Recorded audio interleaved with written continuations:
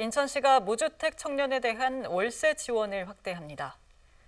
인천시는 정부 지원을 받지 못하는 35세에서 39세 청년에게도 월세를 지원한다고 밝혔습니다.